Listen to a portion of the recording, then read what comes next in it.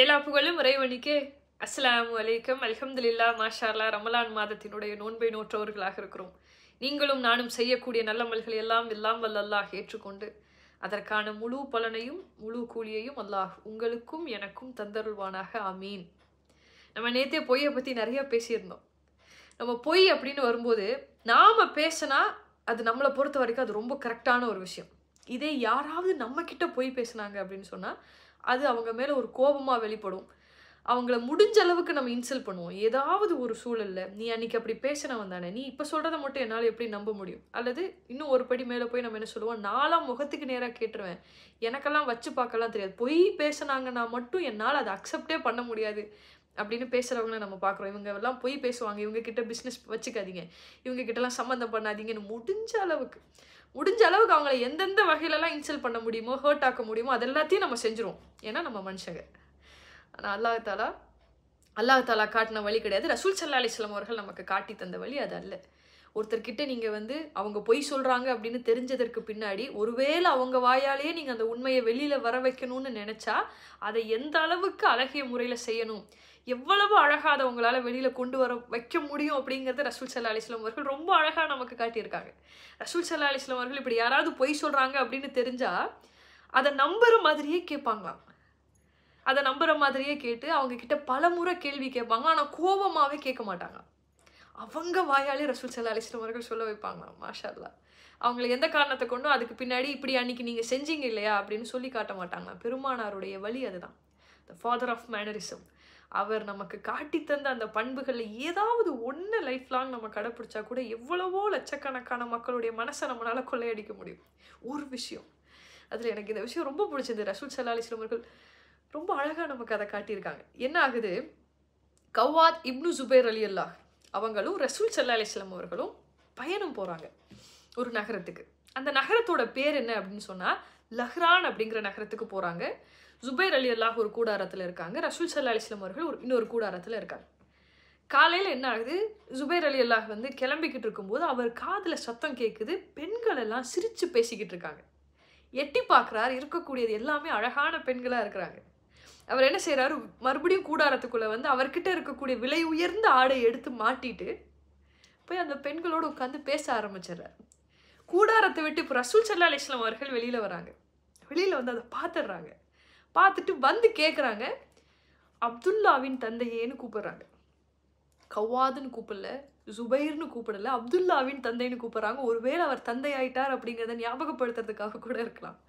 அப்துல்லாவின் தந்தையே பெண்களோடு அமர்ந்து என்ன செய்து கொண்டிருக்கிறீர்கள்?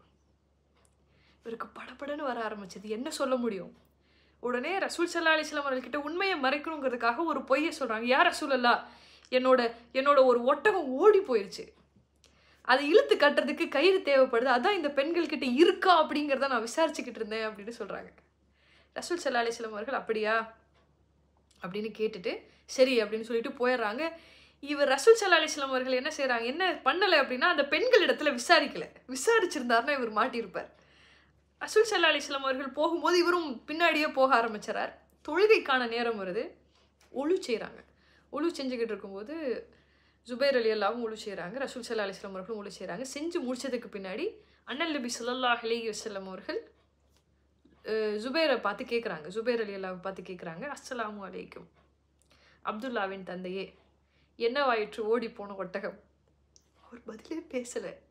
பொய் சொல்ல முடியாது இல்லை இன்னொரு பொய் சொல்ல முடியாது இல்லையா அமைதியாக இருந்துடுறார் எல்லாம் முடிஞ்சிருச்சு. இந்த நகரத்தை விட்டே கிளம்புறாங்க. மதீனாவை நோக்கி புறப்படுறாங்க. ஜுபேர் அலி அல்லாஹ் என்ன செய்கிறாருன்னா பெருமானார் பக்கத்துலேயே போக மாட்டேங்கிறார். போனால் அவர் கேட்பார் அப்படிங்கிறதுக்காக விலகி விலகி நடக்கிறார். நான் ரசூல் செல்ல அலிஸ்லாம் அவர்கள் அருகிலேயே போயிட்டே இருக்காங்க. மறுபடியும் கூப்பிட்டு கேட்குறாங்க அஸ்லாம் அலைக்கும் அப்துல்லாவின் தந்தையே என்னவாயிற்று? உங்களுடைய காணாமல் போன ஒட்டகம்னு கேட்குறாங்க அவர் பதிலே பேசலை. மதினா வந்துருச்சு இப்போ. பள்ளிவாசலுக்கும் போகலை அவர் வீட்டுக்கும் போகலை எங்கேயோ ஒரு பக்கம் அப்படியே மறைஞ்சு நிற்கிறார் ரசூல் சல்லா அலிஸ்லாம் அவர்களை பார்க்கக்கூடாதுங்கிறதுல ரொம்ப தெளிவாக இருக்கார். கொஞ்ச நேரத்துக்கு பின்னாடி பள்ளிவாசலுக்குள்ளே போய் தனிமையில் அவர் தொழுகிறார். ரொம்ப நேரமாக தொழுதுட்டு இருக்கார். இப்போ ரசூல் சல்லா அலிஸ்லாம் அவர்கள் வீட்டிலேருந்து வந்து அதே பள்ளிவாசலில் ரெண்டு ரெக்கா தொழுதுட்டு வெளியில் வெளியில் வந்து அமர்ந்திருக்கிறாங்க. இவர் நீண்ட நேரம் தொழுது இறைவனிடத்துல தனிமையில பிரார்த்தனை பண்ணதுக்கு பின்னாடி வெளியில வந்து பாக்குறார். பெருமானார் பள்ளிவாசலுக்கு வெளியில காத்துக்கிட்டு இருக்கார். மறுபடியும் போய் தொழுக ஆரம்பிச்சிடறார். ரொம்ப நேரமாக தொழுதுகிட்டே இருக்கார். ரசூல் சல்லா அலிஸ்லாம் அவர்கள் வெளியிலிருந்து இப்படி சொல்றாங்க. அப்துல்லாவின் தந்தையே எவ்வளவு நேரம் வேண்டுமானாலும் தொழுங்கள். நீங்கள் தொழுது முடித்து வருகின்ற வரைக்கும் நான் இந்த இடத்தை விட்டு நகரமாட்டேன்னு சொல்றாங்க. அல்லாஹ் அக்பர்.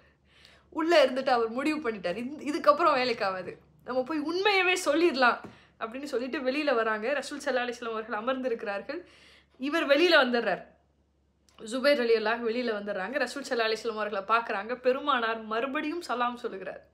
ரசூல் சல்லா அலிஸ்லாம் அவர்கள் சலாம் சொல்கிறாங்க அஸ்லாம் அலைக்கும் அப்துல்லாவின் தந்தையே. சரி சொல்லுங்கள். ஓடி போன ஒட்டகம் கிடைத்து விட்டதா இல்லையா? இப்போ சொல்கிறார் ஜுபைர் ரஹ்மத்துல்லா ஜுபைர் அலி அல்லாஹ் அவங்க இப்போ சொல்கிறாங்க யார் ரசூல் அல்லாஹ் இறைவனின் மீது ஆணையாக.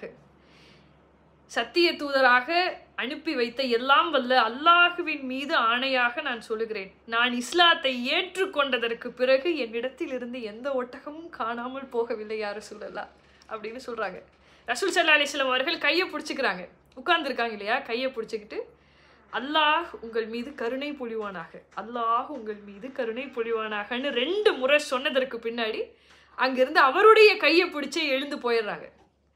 அதற்கு பின்னாடி ஜுபைர் அலி அல்லாஹ் அவங்க இதை பதிவு செய்கிறாங்க அதற்கு பிறகு பல முறை பெருமானாரை நான் சந்திக்கிறேன். ஒரு முறை கூட அதை பற்றி அவர் என்னிடத்தில் விசாரிக்கவே இல்லை. அல்லாஹ் அக்பர். ரசூல் சல்லா அலிஸ்லாம் அவர்கள் காட்டி தந்த வழி இதுதானே. பெருமானார் ஒருத்தர் பொய் சொல்லிட்டாங்க. அது எந்த அளவுக்கு அழகான முறையில் அவர் வாயிலிருந்தே அவங்க உண்மையை வர வச்சுருக்காங்க. ஆனால் நீங்களோ நானும் ஒருத்தர்கிட்ட அவங்க பொய் சொல்லிட்டாங்க அல்லது பொய் சொல்கிறாங்க அப்படிங்கிறத தெரிஞ்ச உடனே ரொம்ப அடமெண்ட்டாக நடந்துக்கும். அல்லது அவங்கக்கிட்ட அவங்கள ஹர்ட் ஆக்குற மாதிரி என்னெல்லாம் பண்ண முடியுமோ அதெல்லாம் நம்ம செய்வோம். நம்ம எல்லாருமே நல்லா புரிஞ்சுக்க வேண்டிய ஒரு விஷயம் நாம் எல்லோருமே சூழ்நிலை கைதிகள் தான். ஒரு இடத்துல இருந்து ஒரு சுச்சுவேஷன்லேருந்து நம்ம தப்பிக்கணும்னு முடிவு பண்ணிட்டா நம்ம என்ன வேணாலும் பேசுவோம் அந்த இடத்துல.